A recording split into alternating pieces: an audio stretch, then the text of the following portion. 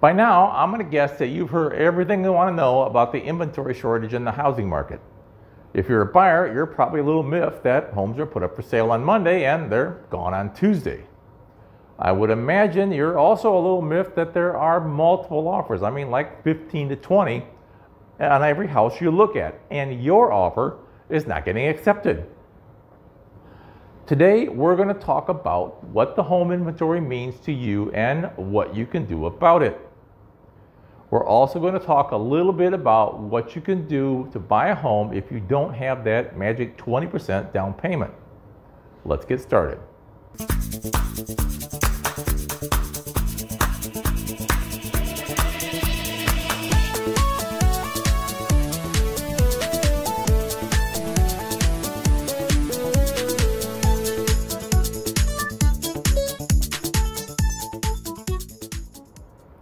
Welcome to our favorite YouTube channel where we talk about Florida, the Tampa Bay area, and real estate in the Tampa Bay area. If you're interested in any all of these, you're going to want to click on that subscribe button down below and hit that notification button as well. We will let you know when our next video is published, which should be next Thursday. Hi, my name is Mike Lavoy. I am a realtor with Dalton Wade Real Estate here in the beautiful Tampa Bay area. My wife Paula and I have lived in the Tampa area for over 30 years and absolutely love living here. Among other things, we really enjoy helping people with what is probably the largest single transaction they're ever going to make, it's buying or selling a home. Have questions about real estate here in the Tampa Bay area? In the comment section down below, there is a link that you can schedule a telephone call with me. We can make that a Zoom call if you would like to.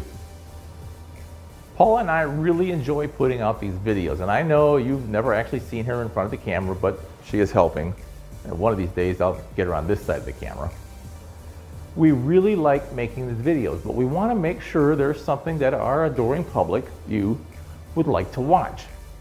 If you have a suggestion about a topic related to real estate, living in Florida, living in Tampa Bay, we would like to know. There's a link down below that will get you to a page where you can send us your request. And yes, we do take requests. Let us know what you want to know about. We will try to make that happen. So let's face it, if you've been trying to buy a home in the Tampa Bay, St. Pete area of Florida for the last 6 to 12 months, it ain't been easy. You could characterize it by using several adjectives, some that can't be used here, but if you're selling, it's like you hit the mother lode. I mean, giddy would be the adjective. If you're trying to buy a home, frustrating comes to mind for most buyers, somewhat unfair for a lot. One of the reasons for both sides of this is that the home inventory in the state and most of the country. The number of homes available to purchase are at all times low. I, I haven't seen, I've never seen, and I mean, really, nobody has. We have been in a seller's market for several years, running at about two and a half to three months of inventory of homes. What that means is that if there are no more homes put on the market, there will be no homes for sale at all in two and a half to three months. A normal or neutral market is usually defined as having six months of inventory. As of the end of June, the Tampa, Clearwater, St. Pete metro area has 0.8 months inventory. That's about three weeks, yeah, three weeks we are definitely a seller's market. To say anything else would be a large understatement. Surely you can't be serious. I am serious. And don't call me Shirley. So, you're a home buyer. How do you navigate in this market? I mean, how do you actually get a home under contract? And better yet, should you even get into the fray? I mean, maybe it's time to stand on the sidelines and just wait. I'm going to give you a couple of tips, a couple of tricks, and a piece of my mind, which really shouldn't take all that long. First, find a lender who will actually work for you, and that does not necessarily mean a bank. The person processing your application at the bank normally gets paid whether you get a mortgage or not. A mortgage broker doesn't get paid until you close on the house. They are incentivized to get the deal done and on time.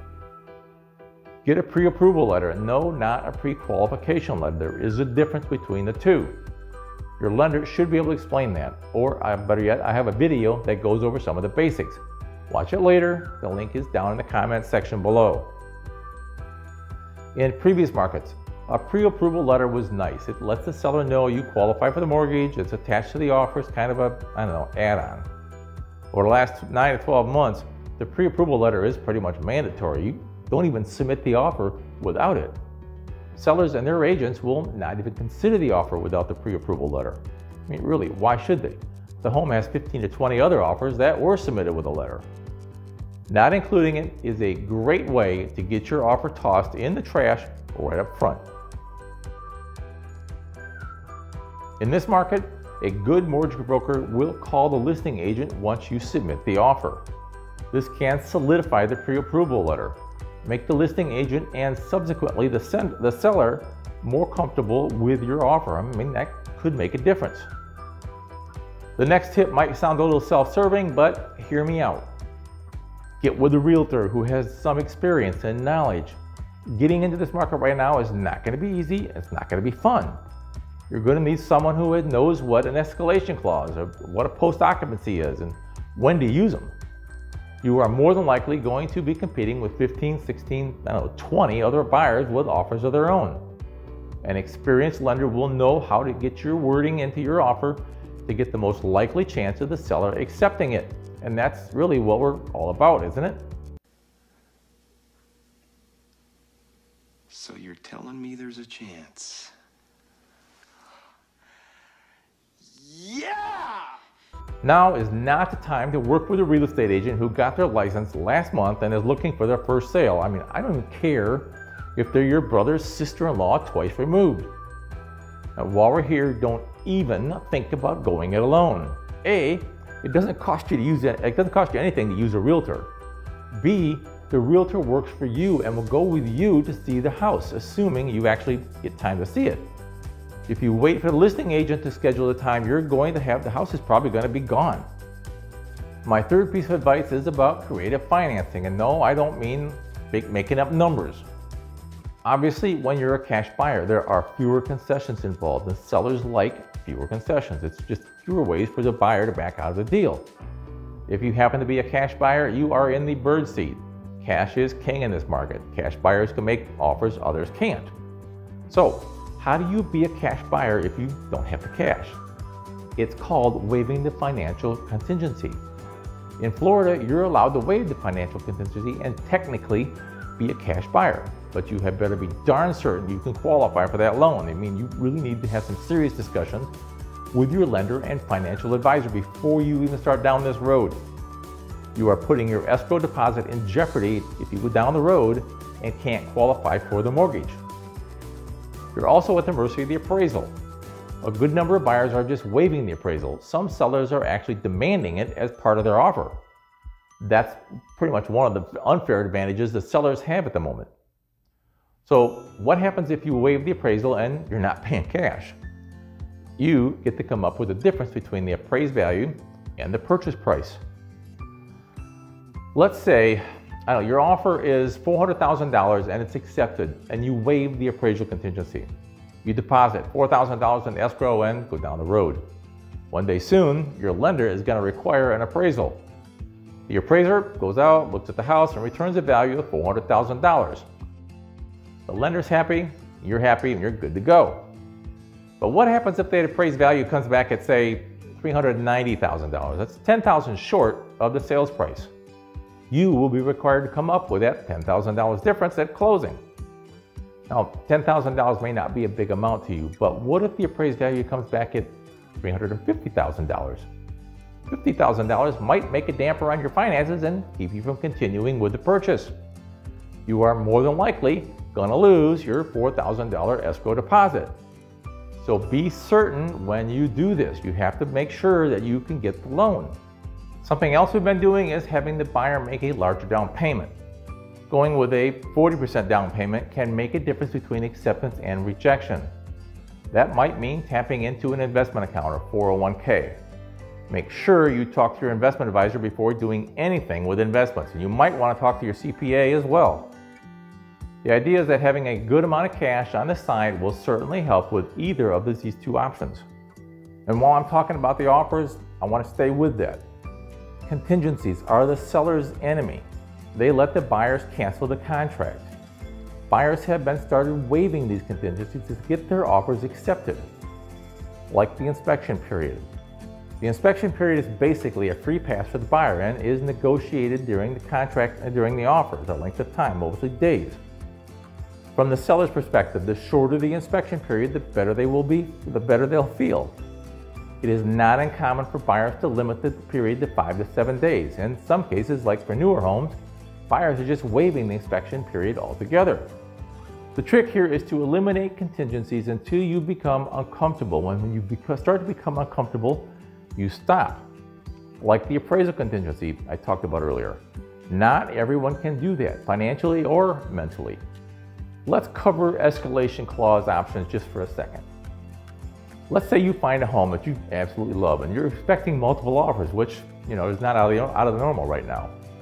The list price is 500,000, so you offer 510 with an escalation of $1,000 over the best competing offer to a maximum of $550,000. Sounds pretty simple, and on the surface it is. You as the buyer don't want to overpay for the house, and this keeps it to a minimum. From the seller's point of view, you're trying to scrape by a competing offer rather than just making your best and highest at 550. This is sometimes all about perception. If you're using this clause and you continue to lose the deal, you might want to rethink that tactic. Earlier I mentioned that there is a way to buy a home without the normal 20% down payment.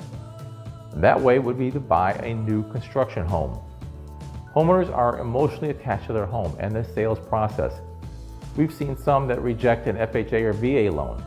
There's really no good reason for that. They just probably used it years ago and had issues with either of those government agencies. They haven't quite figured out that the FHA or VA loan are both extremely to work with nowadays. Home builders are not that emotional. It's all about selling lots and homes. Money. They work with FHA and VA loans all the time, hundreds of times a year, and are happy to do it. FHA and VA loans have much lower down payment requirements. You can get into that home for a heck of a lot less than you can a conventional, and it's a new home. In days gone by, you could go to the model home center, pick your model, you might have some negotiation on the price, pick out your lot, your fixtures, your tile, and build a home kind of almost custom. There was very seldom any competition for new construction homes, I mean maybe on the lot.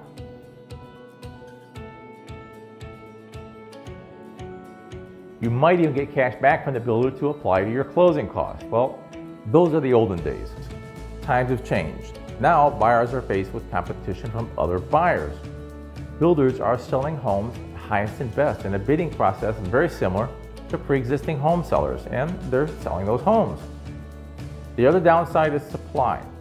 At the moment, with most builders, there is a 9 to 12 month wait period before you can move into the home. So you're gonna have to wait to move in. Just, just you're not gonna, might have to, you're gonna have to.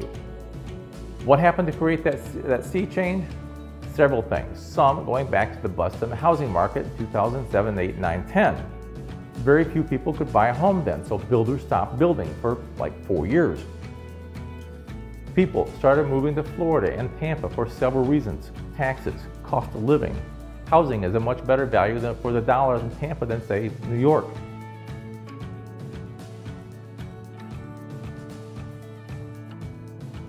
Not to mention, Florida has a great lifestyle. A lot of people found that they could work from homes. So why live in the snow and commute if you could work from your home in the Sunshine State? There is somewhere close to a thousand people moving into the state every day and they have to have someplace to live.